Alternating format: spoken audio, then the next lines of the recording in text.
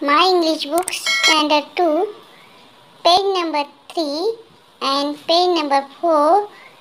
Let's speak. Hello, my name is Lalit. Hi, I am Rashila.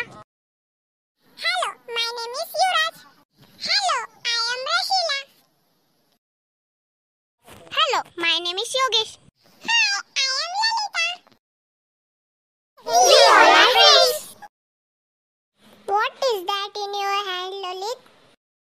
This is my English dictionary. It's very useful.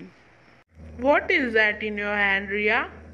This is my water bottle. It is very useful. Can you lend me your dictionary? Sure. May I have some water? I am thirsty. Sure, here is it.